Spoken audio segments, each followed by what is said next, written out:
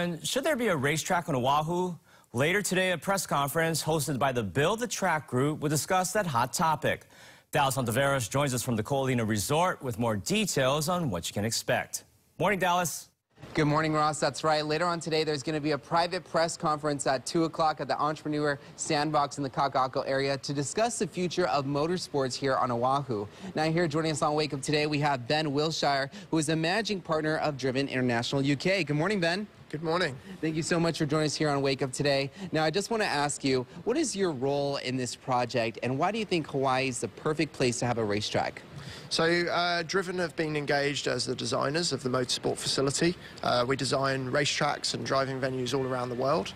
Um, I think there's an amazing opportunity here for a racetrack. There's such a deep car culture and obviously the weather is fantastic all year round. So it gives people a great opportunity to enjoy the track uh, at, at any time of the year. And you know, you bring up a good point because I think when we hear racetrack, we're only thinking about entertainment purposes, but it's actually going to bring so much more. You want to explain a little bit more and what this racetrack could bring to our community? Sure. So this is really about building a multifaceted venue. So we're calling it a motorsport complex. Um, there'll be a 1.5 mile road course, uh, a 1 8 mile drag strip, and a quarter mile dirt oval.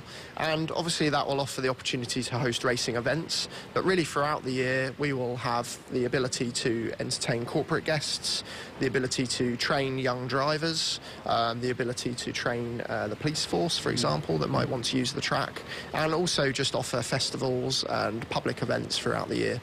And you know, you have been really around the world being a partner and creating these different racetracks around the world. What do you think the experience creates for people, for, for people who have never been before?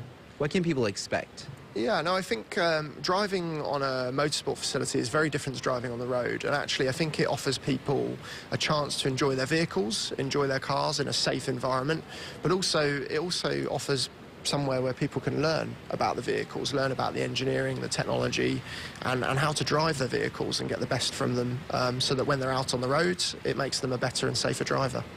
Well, thank you so much, Ben, for being part of Wake Up 2Day. And we're, of course, we are really excited to see what happens next. And of course, so there is going to be a private press conference at the Entrepreneur Sandbox in the Kaka'ako area at 2 p.m. And there's going to be a public meeting at the neighborhood board meeting at the Kapolei Hale at 7 p.m. So whatever details or updates that come out of those two meetings, we'll for sure keep you posted on our website at KHON2.com or in a later newscast. Reporting from Ko Olina Resort, Dallas Ontiveros, saying back to you, Ross, in the studio. Thank you very much, Dallas. Over